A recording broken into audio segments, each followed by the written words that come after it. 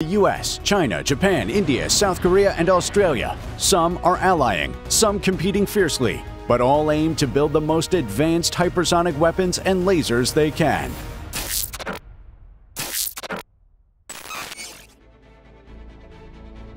China's hypersonic game is no joke.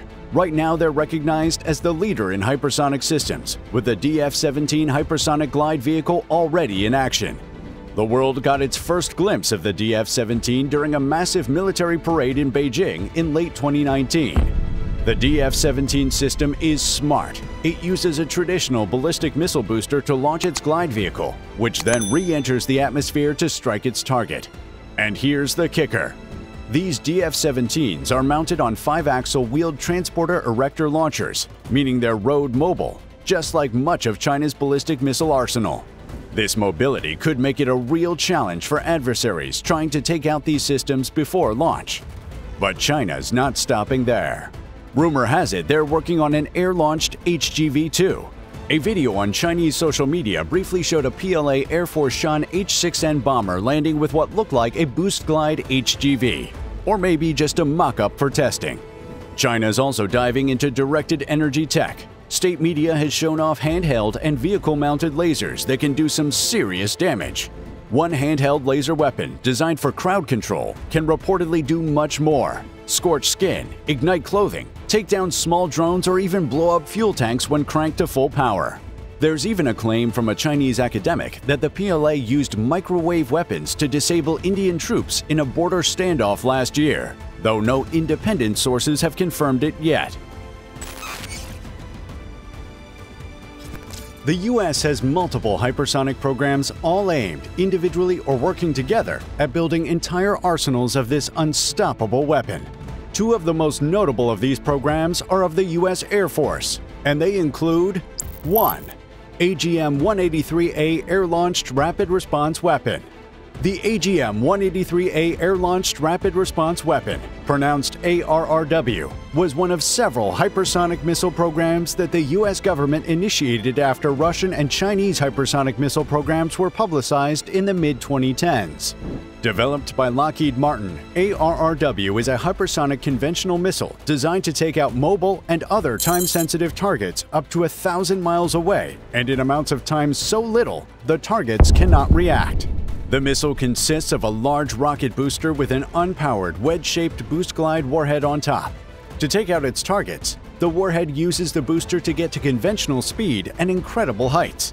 It then detaches from the booster and glides downward into the target at speeds up to Mach 20, or 20 times the speed of sound. It's already beyond theory, too. On May 14, 2022, the 15 to 18 million dollar missile demonstrated separation from the B-52H Stratofortress bomber. Its booster burned for the expected duration, and then the warhead accelerated to hypersonic speeds. The ARRW looked set to become the Air Force's first operational hypersonic weapon. It was expected to start entering service by 2022, where it would be carried by the B-52 bomber fleet, However, in March 2023, after multiple development issues, the Air Force announced its intent to end the program. The results of the current tests with the weapon at a little known place called Guam will likely contribute to the development of other hypersonic missiles, such as the Hypersonic Attack Cruise Missile. Number 2. Hypersonic Attack Cruise Missile The Hypersonic Attack Cruise Missile, HACM for short, is the resulting scramjet-based hypersonic weapon from a joint project between the US and Australia. HACM doesn't require a rocket booster like the ARRW does. Instead, it has an air-breathing design that enables it to operate like a conventional missile and yet reach hypersonic speeds while maneuvering. To build the HACM, the U.S. Air Force awarded three contracts in June 2021 to Boeing, Lockheed Martin, and Raytheon Technologies for preliminary designs. 15 months later, in September 2022, the Air Force crowned the offering from Raytheon Technologies, earning the company, along with partner Northrop Grumman, a $985 million contract to develop the actual missile. The missile's exact specification is yet to be publicized, but it is expected to travel much faster than Mach 8. HACM is portable enough to be compatible with not just bombers, like in the case of ARRW, but also fighters. HACM is a more refined version of ARRW, but without ARRW, might not exist as it does today. Born out of science fiction, the rival in question is the laser weapon. The U.S. is investing roughly a billion dollars a year on programs aimed at developing laser weapons and similar directed energy weapons. Two of the most notable of these programs include Number 1. IFPC HEL The Indirect Fire Precision Capabilities High Energy Laser, or IFPC HEL for short, is a 300 kilowatt laser weapon designed to take out heavy threats such as cruise missiles. The result of a three-year project to develop technologies that would protect fixed and semi-fixed sites, the IFPC HEL is a mobile complete system packed with its beam control, beam director, power and thermal management components. In 2022, Lockheed Martin supplied the Department of Defense with a 300 kilowatt laser that could be integrated into the IFPC HEL. It remains the most powerful laser that Lockheed Martin has ever produced. Number 2.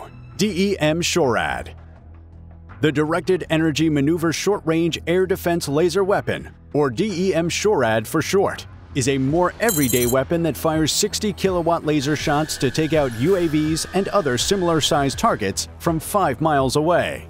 It could achieve this by blinding sensors, causing aerodynamic failure, disabling target engines, detonating fuel supply, or detonating an onboard explosive payload prematurely. An interesting feature of the DEM SHORAD is its level of intelligence.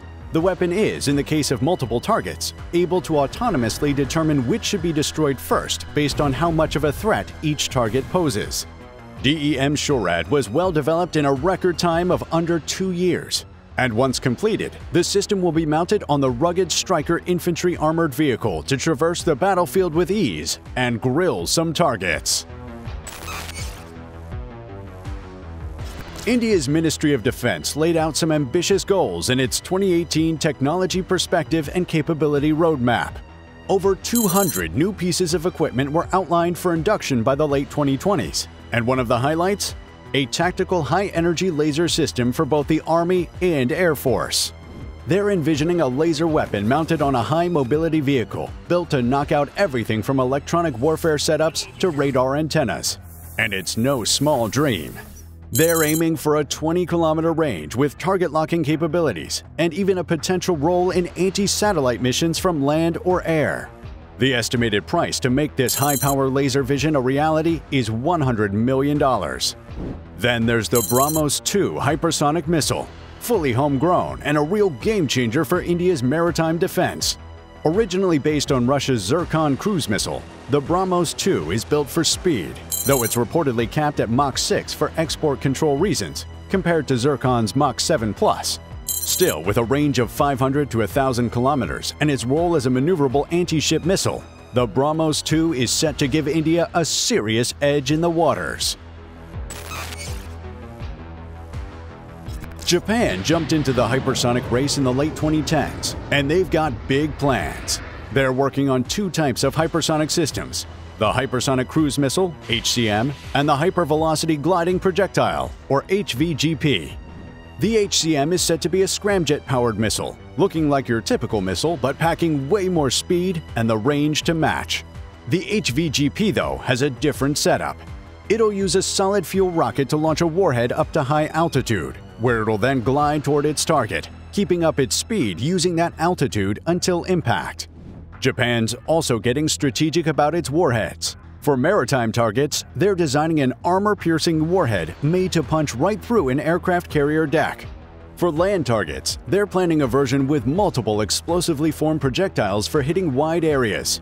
To make all this happen, Japan's government has earmarked 240 billion yen, around $2 billion, in the latest defense budget, with Mitsubishi Heavy Industries on board to drive research on both the HCM and HVGP. Japan's definitely serious about stepping up in hypersonic tech. The Korean Peninsula is heating up the hypersonic arms race too. South Korea, a key U.S. ally, is charging forward with plans to develop its own hypersonic missiles as a counter to North Korea's significant ballistic missile stockpile.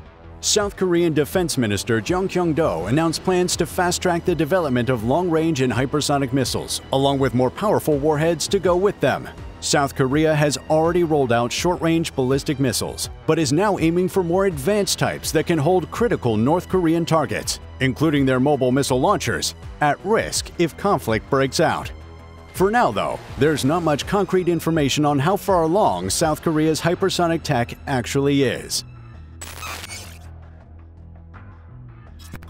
In 2020, Australia rolled out two major defense documents committing 9.3 billion Australian dollars or 7.1 billion US dollars to ramp up its hypersonic weapons and directed energy capabilities. Australia's been digging into hypersonic tech for a while, mainly through the Hypersonic International Flight Research Experimentation, or HIFIRE program. This program pulls together talent from the government's Defense Science and Technology Group, the University of Queensland, the U.S. Air Force Research Lab, and big players like BAE Systems and Boeing. Their goal? A scramjet powered precision strike missile that can hit Mach 5. If all goes as planned, it could be in service by the late 2020s or early 2030s. But Australia is not stopping at hypersonics. The Force Structure Plan calls out another game changer a directed energy weapon system that's set to be integrated into armored fighting vehicles with enough power to take out targets as hefty as main battle tanks. And they're looking to use this tech for protecting naval vessels against cutting edge threats too. Leading the charge in directed energy tech is Australian company Electro Optic Systems, with over 35 years of laser expertise. They already provide space domain awareness services, tracking objects in space for Australia and allies. Now, they're also building a scalable directed energy counter drone weapon for the Australian Defence Force, starting with a 26 kilowatt continuous wave laser. Australia's serious about staying ahead in the high tech arms race. Hypersonic missiles and laser weapons are groundbreaking weapons in every way. They introduce to the battlefield capabilities that do not currently exist. With the budgets, manufacturers, and governments on board, the only piece left to complete these weapons is you giving this video a like and subscribing to this channel. So do that now for these new, unstoppable weapons. Thanks for watching.